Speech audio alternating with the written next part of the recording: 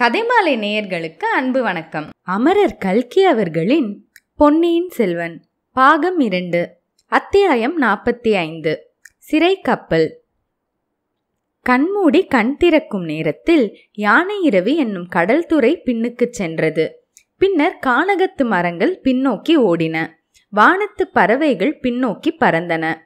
ஓடைகள் குளங்கள் ஊர்ப்புறங்கள் கோயில்கள் மண்டபங்கள் எல்லாம் பின்னோக்கி பாய்ந்து மறைந்தன. மான் கூட்டம் ஒன்று அந்த யானையுடன் சிறிது நேரம் போட்டியிட்டு ஓட பார்த்தது. மான்களும் தோல்வி அடைந்து பின்தங்கின. யானை மட்டும் முன்னால் முன்னால் முன்னால் போய்கொண்டிருந்தது எத்தனை தூரம் எத்தனை நேரம் என்றெல்லாம் பூங்குழலிக்கு ஒன்றும் தெரியவில்லை. ஆனால் இன்னமும் ஈழ நாட்டிலேதான் இந்த யானை போய்க் கொண்டிருக்கிறதா என்று மட்டும் பூங்குழலிக்கு வியப்பாய் இருந்தது. இத்தனை நேரம் அந்த தீவை மூன்று தடவை கடந்து போயிருக்கலாமே இல்லை இல்லை. இந்த யானை ஈழ நாட்டை கடந்து செல்லவில்லை. பூலோகத்தை கடந்து போய்க் கொண்டிருந்தது. பூலோகத்தின் தென்முனையிலிருந்து வடமுனைக்கு போய்க் கொண்டிருக்கிறது. இதன் முதுகில் ஏறிக்கொண்டு நானும் பூமியை பிரதட்சணம் செய்கிறேன். நான் மட்டுமா? இளவரசருந்தான் முதலில் யானை மதம் பிடித்து ஓடத் தொடங்கியதும் பூங்குழலிக்கு கொஞ்சம் பயமாய்த்தான் இருந்தது. பயத்துடன் என்ன நிகழ்கின்றது என்று தெரியாத தயக்கமும் இருந்தது. இரண்டு மூன்று தடவை இளவரசர் அவளை திரும்பி பார்த்து புன்னகை புரிந்தார். பின்னர் அவளுடைய பயமும் தயக்கமும் மறைந்தன. எல்லையற்ற உற்சாகம் அவளை ஆட்கொண்டது. கொஞ்ச நேரம் வரை இப்பூவுலகில் ஒரு மத்தகஜத்தின் மீது ஏறிச் சென்றாள். திடீரென்று எப்படியோ சொர்க்கத்துக்கு போய்விட்டாள். சொர்க்கத்தில் தேவேந்திரனுடைய ஐராவதத்தின் பேரில் அவள் வீற்றிருந்தாள். ஐராவதம் வானவீதிகளில் ஊர்வலம் போய்க் கொண்டிருந்தது. கற்பக விருட்சங்கள் அவள் மீது சுகந்த மலர்களை பொழிந்தன. கந்தவர்கள் இன்னிசை கருவிகளிலிருந்து இனிய ஸ்வரங்களை எழுப்பிக் கொண்டு அவள் பின்னோடு பறந்து வந்தார்கள். அப்சர ஸ்திரீகள் நடனமாடிக்கொண்டு வந்தார்கள். ஊர்வலம் சென்ற வானவீதியின் இருபுறமும் நட்சத்திர தீபங்கள் சுடர்விட்டு ஜகஜோதியாக பிரகாசித்தன. இப்படி பல பல யுகங்கள் சென்றன.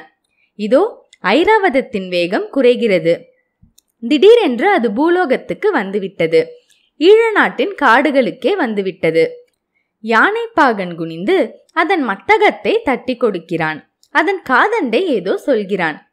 சேச்சே அவன் யானைப்பாகன் அல்ல தேவேந்திரன் அல்லவா? இல்லை இளவரசர் அல்லவா இவர்? நாலு புறமும் மரங்கள் சூழ்ந்த ஒரு குளத்தின் கரையிலே வந்து யானை அமைதியாக நின்றது. பூங்குழலி சிறிது கவலையுடன் இளவரசரை வரவேற்று உபசரிப்பதற்காக ஜனக்கூட்டம் வந்து அக்கரையில் நிற்கிறதோ என்று பார்த்தாள். இல்லை பின்னால் குதிரைகள் தொடர்ந்து வருகின்றனவோ என்று பார்த்தாள். அதுவும் இல்லை. குளத்தை பார்த்தாள். அதில் பூத்திருந்த அல்லி மலர்களும் செங்கழுநீர் பூக்களும் அப்படி அப்படியே கொடிகளுடன் பீய்த்து கொண்டு வந்தன. அவளை நாலு புறமும் சூழ்ந்து கொண்டன. கன்னங்களிலும் தோள்களிலும் உடம்பு முழுவதும் அந்த மலர்கள் அவளை தழுவிக்கொண்டு மகிழ்ந்தன. பின்னர் அப்பொல்லாத மலர்களின் கொடிகள் அவளை இறுக்கி பிடித்து அமுக்கி மூச்சு திணற செய்தன. உடம்பை ஒரு குலுக்கு குலுக்கி அப்பூங்கொடிகளின் பிடியிலிருந்து பூமிக்கு தலைகீழாய் வந்தது போல் இருந்தது. யானை தன் பெரிய முன்னங்கால்களை மடித்து குனிந்தது. பிறகு பின்னங்கால்களையும் மடித்து கொண்டு தரையில் படுத்தது. இளவரசர் யானையின் கழுத்திலிருந்து கீழே குதித்தார். பூங்குழலி யானை மேலிருந்து இறங்குவதற்கு மனமில்லையா? என்றார். பூங்குழலி உடம்பை சிலிர்த்து கொண்டு தன் நினைவை அடைந்தாள். ஐயா சொர்க்கத்திலிருந்து பூமிக்கு வருவது கஷ்டந்தானே என்று முணுமுணுத்து கொண்டு இறங்கினாள். யானை மீண்டும் எழுந்து குளக்கரையிலிருந்த ஒரு பெரிய மரத்தின் கிளையை ஒடித்து தன் அகண்ட வாய்க்குள்ளே திணித்து கொண்டது. அருள்மொழிவர்மர் குளத்தின் கரையோரமாக சென்று உட்கார்ந்தார். தயங்கி நின்ற பூங்குழலியையும் அருகில் வந்து உட்காரச் சொன்னார். தெளிந்த நீரில் பூங்குழலியின் முகம் பிரதிபலித்தது. யானையின் ஓட்டத்தினாலும் அச்சமயம் நேர்ந்த உள்ள கிளர்ச்சியினாலும் அவள் முகம் செக்க செவேல் என்று ஆகி செங்கழுநீர் பூவுடன் போட்டியிட்டது. நீரில் தெரிந்த அவள் முகத்தை பார்த்த வண்ணம் இளவரசர் சமுத்திரகுமாரி உன்னை எனக்கு ரொம்ப பிடித்திருக்கிறது என்றார். அல்லி மலர்களும் செங்கழுநீர் பூக்களும் மீண்டும் இடம்பெயர்ந்து வந்து பூங்குழலியின் உடல் முழுவதும் முத்தமிட்டன. உன்னை ஏன் எனக்கு பிடித்திருக்கிறது தெரியுமா? என்று இளவரசர் கேட்டார். பூங்குழலியின் கண் முன்னால் வானமும் வையமும் குளமும் அதில் உள்ள மலர்களும் குளக்கரையில் இருந்த மரங்களும் சுழன்று சுழன்று வந்தன. எனக்கு தெரிந்த ஒவ்வொருவரும் நான் அவர்கள் இஷ்டம் போல் நடக்க வேண்டும் என்று ஆசைப்படுகிறார்கள். நீ ஒருத்தி மட்டும் என் விருப்பத்தின்படி நடக்க சந்தோஷத்துடன் சம்மதித்தாய். இந்த உதவியை என்றும் மறக்க மாட்டேன் சமுத்திரகுமாரி பூங்குழலியின் உடம்பு ஒரு யாழாயிற்று. அவளுடைய நரம்புகள் எல்லாம் யாழின் நரம்புகள் ஆயின. பொன்வண்ண விரல்கள் அந்த நரம்புகளை நீட்டி தேவகானத்திலும் இனிய இசையை எழுப்பின. சேனாதிபதியும் பார்த்திபேந்திரனும் சேர்ந்து என் பிரயாணத்தை தடை செய்வதற்கு சூழ்ச்சி செய்தார்கள். சேனாதிபதி நாம் வரும் வழியில் பல இடையூறுகளை உண்டு பண்ணினார். நமக்கு முன் அவசரமாக ஆள் அனுப்பி கிராமவாசிகளை உபசாரம் நடத்துவதற்கு ஏற்பாடு செய்தார். பார்த்திபேந்திரர் விரைந்து திரிகோணமலைக்கு போயிருக்கிறார். அங்கிருந்து கப்பல் ஏறி நமக்கு முன்னால் தொண்டைமானாற்றின் முகத்வாரத்துக்கு வந்துவிட வேண்டும் என்பது அவருடைய உத்தேசம். ஆகா அவர்களுடைய சூழ்ச்சி எனக்கு தெரியாது என்று நினைத்தார்கள். உன் உதவியினால் அவர்களுடைய சூழ்ச்சியை தோற்கடித்தேன். பூங்குழலிக்கு சட்டென்று தான் செய்த காரியம் என்னவென்பது நினைவு வந்தது. அவளை நரகலோகத்தில் யமதூதர்கள் உயிரோடு செக்கிலே போட்டு ஆட்டுவது போல் இருந்தது. ஐயா அவர்கள் எல்லாரும் தங்களை எதிரிகளிடம் சிறைப்படாமல் தப்புவிக்க முயன்றார்கள். நான் பாவி தங்களை சிறைப்படுத்த அழைத்து போகிறேன் என்று கூறிவிட்டு விம்மினாள் பூங்குழலி. அடடே இது என்ன? உன்னை பற்றி நான் எவ்வளவோ நல்ல அபிப்பிராயம் கொண்டிருந்தேன். நீயும் அவர்களைப் போல் ஆகிவிட்டாயே. என் சுய புத்தியினால் இந்த பாதகத்தை நான் செய்யவில்லை. தங்களுடைய ஆசை வார்த்தையில் மயங்கி பைத்தியமாகிவிட்டேன். இப்போது புத்தி தெளிந்தது. நான் போகிறேன் என்று சொல்லிவிட்டு பூங்குழலி குதித்து எழுந்தாள். அவள் ஓடிப்போகாமல் தடுப்பதற்கு இளவரசர் அவளுடைய கரத்தை லேசாக தொட்டு பற்றினார். அச்சமயத்தில் தேவலோகத்து கன்னிகைகளுக்கு வேறு வேலை இருக்கவில்லை. அவர்கள் வெண்ணிலவின் சாற்றை சந்தன குழம்புடன் கலந்து பூங்குழலியின் மீது தெளித்தார்கள்.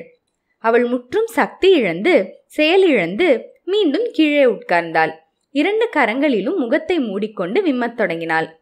சமுத்திரகுமாரி உன்னிடம் ஒரு முக்கியமான விஷயம் சொல்ல எண்ணினேன். நீ இப்படி அழுவதாயிருந்தால் சொல்வதற்கில்லை. உடனே புறப்பட வேண்டியதுதான். பூங்குழலி கண்ணீரை துடைத்துக்கொண்டு அவரை நிமிர்ந்து பார்த்தாள். அதுதான் சரி. கேள் இவர்கள் எல்லாரும் என்னை சிறைப்படாமல் காப்பாற்ற முயல்கிறார்கள் என்று சொன்னாயே அது உண்மைதான். அது எதற்காக தெரியுமா? தங்கள் பேரில் அவர்கள் வைத்திருக்கும் அன்பினால்தான் நான் ஒருத்தி மட்டும்தான் பாதகி. பொறு பொறு என் பேரில் எல்லாருக்கும் அன்புதான். எதற்காக தெரியுமா? யாரோ சோதிடர்களும் ரேகை சாஸ்திரிகளும் சொல்லியிருக்கிறார்களாம். நான் ஒரு காலத்தில் சக்கரவர்த்தியாக போகிறேன் என்று. ஆகையால் ஒவ்வொருவரும் என்னை சிம்மாசனத்திலே தூக்கி வைத்து என் தலையிலே ஒரு கிரீடத்தையும் சுமத்திவிட பார்க்கிறார்கள். பேராசை பிடித்தவர்கள். ஐயா அவர்கள் அப்படி ஆசைப்பட்டால் அதில் தவறு என்ன? இந்த லோகத்துக்கு மட்டும்தானா? மூன்று உலகத்துக்கும் சக்கரவர்த்தியாக தாங்கள் தகுதி வாய்ந்தவர் அல்லவா ஆகா நீயும் அவர்களைப் போலத்தான் பேசுகிறாய். பெண்ணே இவ்வுலகில் அரண்மனையைப் போன்ற சிறைக்கூடம் வேறில்லை. சிம்மாசனத்தை போன்ற பலிப்பீடமும் இல்லை. கிரீடம் அணிவது போன்ற தண்டனை வேறு கிடையவே கிடையாது. இதையெல்லாம் மற்றவர்களிடம் சொன்னால் ஒப்புக்கொள்ள மாட்டார்கள். நீயாவது ஒப்புக்கொள்வாய் என்று நினைத்தேன். பூங்குழலியின் கண்ணிமைகள் பட்டுப்பூச்சியின் சிறகுகளைப் போல் அடித்து கொண்டன. அவள் ஆர்வம் ததும்பிய அகன்ற கண்களினால் அரசிலங்குமாரரை நோக்கினாள். சமுத்திரகுமாரி உண்மையாகச் சொல். உன்னை வாழ்நாள் எல்லாம் ஒரு சிம்மாசனத்தில் உட்கார்ந்திருக்கும்படி சொன்னால் உட்கார்ந்திருப்பாயா? என்று இளவரசர் கேட்டார். பூங்குழலி சிறிது நேரம் யோசனை செய்தாள். பின்னர் மாட்டேன் என்று தெளிவாக சொன்னாள். பார்த்தாயா பின்னே என்னை மட்டும் அந்த தண்டனைக்கு ஏன் உள்ளாக்க விரும்புகிறாய்? தாங்கள் ராஜகுலத்தில் பிறந்தவர் அல்லவா? ராஜகுலத்தில் பிறந்ததினால் என்ன?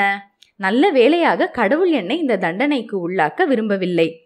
ராஜ்யம் ஆளுவதற்கு என் மூத்த சகோதரர் இருக்கிறார். என் பெரிய பாட்டனாரின் மகன் ஒருவரும் இருக்கிறார். அவரும் ராஜ்யம் ஆள ஆசைப்படுகிறார். ஆகா அது தங்கள் காதுக்கும் எட்டிவிட்டதா? என்றாள் பூங்குழலி. நல்ல கதை. எனக்கு தெரியாது என்று நினைத்தாயா என்ன?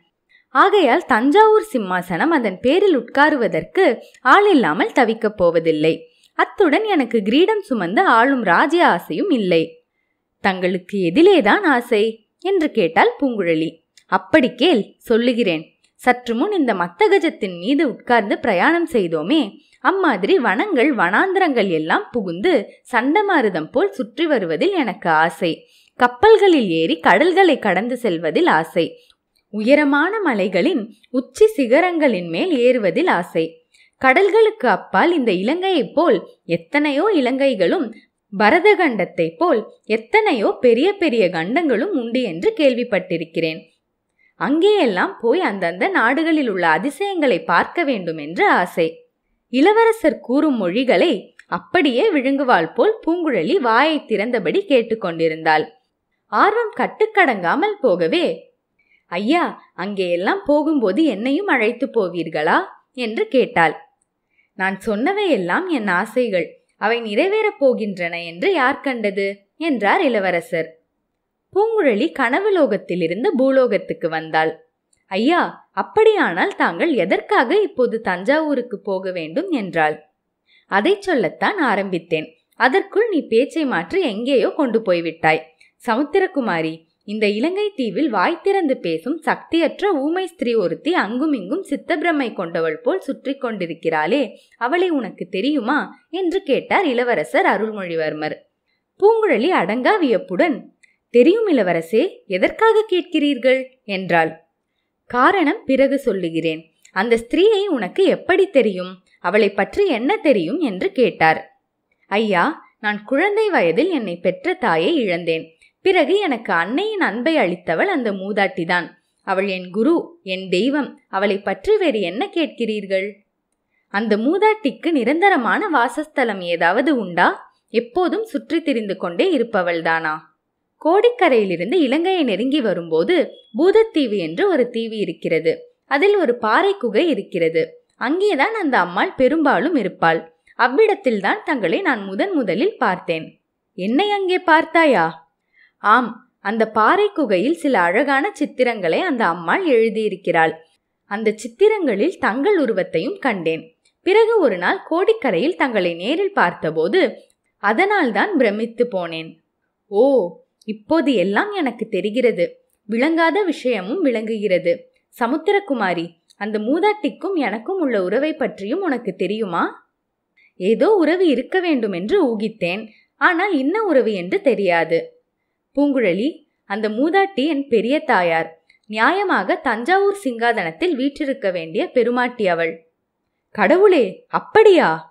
ஆனால் விதியின் எழுத்து வேறு விதமாய் இருந்தது யார் என்ன செய்ய முடியும்? என் தந்தையின் உள்ளத்தில் ஏதோ ஒரு ரகசிய துன்பம் இருந்து வேதனைப்படுத்தி வருகிறது என்று சில சமயம் எனக்கு தோன்றுவதுண்டு. அதன் உண்மையை இப்போதுதான் கண்டுபிடித்தேன். என் பெரிய தாயார் இறந்து விட்டதாக என் தந்தை எண்ணிக்கொண்டிருக்கிறார். தம்மால் இறந்து விட்டதாகவும் எண்ணிக்கொண்டிருக்கிறார். அவள் இறக்கவில்லை உயிரோடு இருக்கிறாள் என்பதை அவருக்கு நான் போய் சொல்ல வேண்டும். சொன்னால் அவர் இருதயத்தின் தாபம் தனியும் அவரை அரித்து கொண்டிருக்கும் மனவேதனை தீரும். சக்கரவர்த்தியின் உடல்நிலை சரியாக இல்லை என்றுதான் உனக்கு தெரிந்திருக்குமே மனித வாழ்க்கை அனித்தியமானது. எப்போது என்ன நேரிடும் என்று யாரும் சொல்வதற்கில்லை. வானத்தில் சில நாளாக தூமக்கேது ஒன்று தோன்றி வருகிறது. அதை பற்றி ஜனங்கள் பலவாறு பேசிக்கொள்கிறார்கள். சக்கரவர்த்தியின் மனமும் அதனால் பாதிக்கப்பட்டிருக்கிறது என்று தெரிகிறது. இந்த நிலைமையில் விபரீதமாக எதுவும் நேர்வதற்கு முன்னால் நான் கண்டுபிடித்த விவரத்தை அவருக்கு தெரிவித்து விட வேண்டும். சமுத்திரகுமாரி அதற்காகவே தான் நான் அவசரமாக தஞ்சைக்கு போக விரும்புகிறேன். நீ எனக்கு செய்யும் உதவி எவ்வளவு முக்கியமானது என்று இப்போது தெரிகிறது அல்லவா? ஆர்வத்துடன் இளவரசரின் வார்த்தைகளை கேட்டுக்கொண்டிருந்த பூங்குழலி ஒரு பெருமூச்சு விட்டாள். கடவுளே மனித வாழ்க்கையில் ஏன் இத்தனை இன்பத்துடன் துன்பத்தையும் வைத்தாய்? என்று முணுமுணுத்தாள். பிறகு இளவரசரை பார்த்து ஐயா இந்த பேதையினால் தங்களுக்கு ஏதேனும் உதவி ஏற்பட்டால் அது என் பூர்வ ஜன்ம பாக்கியம். ஆனால் இதற்கு என் உதவி ஏன்? சேனாதிபதி முதலியவர்களிடம் சொல்லியிருந்தால் அவர்கள் தங்களை தஞ்சைக்கு அனுப்பியிருக்க மாட்டார்களா? என்றாள். இல்லை அவர்கள் யாரிடமும் சொல்ல நான் விரும்பவில்லை. என்னை எப்படியாவது சிம்மாசனம் ஏற்றுவதில் முனைந்திருக்கும் அவர்களுக்கு இது ஒன்று முக்கியமாக தோன்றாது. என் தந்தையின் அந்தரங்கத்தை அவர்களிடமெல்லாம் சொல்வதற்கும் நான் இஷ்டப்படவில்லை. சொன்னால் அவர்கள் புரிந்து கொண்டிருக்கவும் மாட்டார்கள். உன்னிடம் இன்னொரு உதவியும் கோருகிறேன். சமுத்திரகுமாரி அதற்காகவே முக்கியமாக இங்கே யானையை நிறுத்தினேன். எனக்கு சக்கரவர்த்தி பட்டமும் சாம்ராஜ்ய சிம்மாசனமும் அளித்த ஜோசியர்கள் என் வாழ்க்கையில் பல அபாயங்கள் பல கண்டங்கள் ஏற்படும் என்றும் சொல்லியிருக்கிறார்கள். இந்த பிரயாணத்தில் அப்படி ஏதாவது எனக்கு நேர்ந்துவிட்டால் என் தந்தையை நான் சந்திக்க முடியாமல் போய்விட்டால் நீ சக்கரவர்த்தியிடம் போக வேண்டும். எப்படியாவது அவரை சந்தித்து என் பெரியம்மை உயிரோடு இருக்கிறாள் என்பதை அவரிடம் சொல்ல வேண்டும். அவர் இஷ்டப்பட்டால் அந்த மூதாட்டியை அவரிடம் அழைத்து போக வேண்டும். இந்த காரியத்தை எல்லாம் செய்வாயா பூங்குழலி? தங்களுக்கு ஒரு கண்டமும் நேராது. அபாயம் தங்களிடம் நெருங்க பயந்து ஓடும். கட்டாயம் பத்திரமாய் தஞ்சாவூர் போய் சேர்வீர்கள். ஒருவேளை எனக்கு ஏதாவது நேர்ந்தால் நான் கோரியபடி செய்வாய் அல்லவா கட்டாயம் செய்கிறேன் இளவரசே. இந்த முக்கியமான காரியத்தை வேறு யாரிடம் நான் ஒப்புவிக்க முடியும்? நீயே சொல் பார்க்கலாம். என்னிடம் ஒப்புவிக்க வேண்டிய காரியத்தை ஒப்புவித்தாகி விட்டது. இத்துடன் என் உபயோகம் தீர்ந்து விட்டதல்லவா நான் விடை கொள்ளலாமா? என்றாள் பூங்குழலி. அவளுடைய குரல் கண்ணீரின் ஈரப்பசையோடு கலந்து வந்தது. ஆகா அது எப்படி? தொண்டைமானாற்றின் முகத்வாரத்தை இன்னும் நாம் அடையவில்லையே. சோழ நாட்டு போர்க்கப்பல்களை இன்னும் காணவில்லையே. அதற்குள் எப்படி விடை பெற்று கொள்ளலாம்? கோபித்துக் கொள்ளாதே. இன்னும் சிறிது நேரம் பல்லை கடித்துக்கொண்டு என்னுடைய சகவாசத்தை பொறுத்துக்கொள் யானை மேல் மறுபடியும் ஏறி இன்னும் கொஞ்ச தூரம் என்னுடன் வா. புலிக்கொடி பறக்கும் கப்பலை தூரத்தில் கண்டதும் நீ என்னை விட்டு பிரிந்து செல்லலாம். என்றார் இளவரசர். மறுமொழி ஒன்றும் சொல்லாமல் பூங்குழலி யானை நின்ற இடத்தை நோக்கி நடந்தாள். இளவரசரும் சென்றார். அவருடைய வார்த்தைக்கு படிந்து யானை மண்டியிட்டு படுத்தது. இருவரும் அதன் முதுகில் ஏறிக்கொண்டார்கள் முன்போல் யானையை இளவரசர் விரட்டவில்லை. ஆயினும் விரைவாகவே நடந்து சென்றது. சமுத்திரகுமாரி எனக்கு மிகவும் பிடித்த சில காரியங்களை பற்றி சொன்னேனே. உனக்கு பிடித்தவை என்னவென்று சொல்ல வேண்டாமா? என்றார் அருள்மொழிவர்மர். எருமை வாகனத்தின் மீது வரும் யமனை எனக்கு ரொம்பவும் பிடிக்கும். நள்ளிரவில் பாறை உச்சியின் மீது நின்று கொண்டு கொல்லிவாய் பிசாசுகளை நேரம் போவதே தெரியாமல் பார்ப்பதற்கு ரொம்பவும் பிடிக்கும். நல்ல விசித்திரமான குணமுள்ள பெண் நீ. தங்கள் சிநேகிதர் கூறுவதைப் போல் பைத்தியக்கார பெண் என்று சொல்லுங்கள். அதற்காக நான் வருத்தப்பட மாட்டேன். அப்புறம் சிறிய படகில் ஏறி அலைக்கடலின் நடுவில் போய்க்கொண்டே இருப்பதற்கும் பிடிக்கும். அதிலும் கடலில் சுழற்காற்று அடித்ததோ என் உற்சாகம் எல்லை கடந்துவிடும். அப்போது படகு ஒரு சமயம் அலை உச்சியில் ஏறி வானுலகத்தை எட்டி பிடிக்கும். மறுகணம் பாதாளத்தில் தடால் என்று விழும். போல் எனக்கு பிடித்த காரியம் வேறொன்றும் இல்லை சற்று முன்னால் இந்த யானை வெறி கொண்டது போல் ஓடி வந்ததே அப்போதும் எனக்கு அவ்வளவு உற்சாகமாகவே இருந்தது. ஆ பூங்குழலி முருகப்பெருமான் உன்னுடைய புன்னகையை நாடி வந்திருந்தால் அடியோடு தோற்றிருப்பார். யானை முகனை அனுப்பி குரமகள் வள்ளியை பயமுறுத்தினாரே அந்த யுக்தி ஒன்றும் உன்னிடம் பழித்திராது என்றார் இளவரசர். அவர்கள் தொண்டைமான் நதியின் முகத்துவாரத்தை அணுகிய போது ஆ இது என்ன? என்று பூங்குழலி கூச்சலிட்டாள். என்ன என்ன? என்று இளவரசர் ஆவலுடன் கேட்டார். புலிக்கொடியுடன் கூடிய மரக்கலங்கள் நான் பார்த்த இடத்தில் இல்லையே. என்னை பற்றி தாங்கள் என்ன நினைப்பீர்கள்? சேனாதிபதி என் மீது சந்தேகப்பட்டது போல் தங்களை ஏமாற்றி அழைத்து வந்தவளாகிவிட்டேனே என்றாள். அப்படி நான் ஒரு நாளும் நினைக்க மாட்டேன். பூங்குழலி நீ பொய் சொல்லி என்னை வஞ்சித்து அழைத்து வர எவ்வித முகாந்தரமும் இல்லை. ஏன் இல்லை இளவரசே? காதல் காரணமாக இருக்கலாம் அல்லவா? உலகமெல்லாம் அழகில் மன்மதனையும் வீர பராக்கிரமத்தில் அர்ச்சுனனையும் நிகர்த்தவர் என்று போற்றும் பொன்னியின் செல்வர் மீது மோகம் கொண்டு ஒரு பேதை பெண் இம்மாதிரி செய்திருக்கலாம் அல்லவா? பெண்ணே சேனாதிபதி இங்கே இச்சமயம் இருந்திருந்தால் ஒருவேளை அவ்வாறு சந்தேகப்பட்டிருக்கலாம். ஆனால் உன் மனத்திலும் என் மனத்திலும் அத்தகைய பைத்தியக்கார எண்ணங்களுக்கு இடமில்லை. ஐயா பழையாறை அரண்மனையில் வானதி தேவி என்று ஒரு வீரர் குலத்து இளவரசி ஒருத்தி இருக்கிறாளே அவளை பற்றியும் அப்படி தாங்கள் சொல்வீர்களா? ஆமாம் அதை நான் மறந்துவிடவில்லை. இந்த சேனாதிபதியும் என் தமக்கையும் சேர்ந்து அந்த பெண்ணை என் கழுத்தில் கட்டிவிட பார்க்கிறார்கள். சோழகுல சிம்மாசனத்தில் அமர வேண்டும் என்ற ஆசையினால் அந்த பேதை பெண்ணுக்கும் அத்தகைய ஆசை ஒருவேளை இருக்கலாம். அதற்கு நான் பொறுப்பல்ல. பூங்குழலி அது போகட்டும். நீ பார்த்தபோது கப்பல்கள் எங்கே இருந்தன? என்று இளவரசர் கேட்டார். அதோ அந்த முனையில்தான் நின்று கொண்டிருந்தன. எனக்கு மிக நன்றாக நினைவிருக்கிறது என்றாள் பூங்குழலி. அதனால் என்ன? கொஞ்சம் அப்பால் இப்பால் நகர்ந்து சென்று நிற்கக்கூடும் அல்லவா? எல்லாவற்றுக்கும் கடற்கரை வரையில் போய் பார்த்து விடுவோம் என்றார் இளவரசர். கப்பல்கள் போயிருந்தால் நல்லதாய் போயிற்று. இப்பொழுது எதற்காக போய் தேட வேண்டும்? என்றாள் பூங்குழலி. ஆகா நீ அப்படி நினைக்கலாம். ஆனால் எனக்கு போல் ஏமாற்றம் தருவது வேறொன்றும் இல்லை என்றார் இளவரசர். முன்னூறு வருஷத்துக்கு முன்னால் இலங்கை இளவரசனாகிய மானவன்மன் காஞ்சிபுரத்தில் வந்து சரண் புகுந்திருந்தான். அவனுக்கு ராஜ்யத்தை மீட்டுத் தருவதற்காக மாமல்ல சக்கரவர்த்தி ஒரு பெரும் படையை அனுப்பினார்.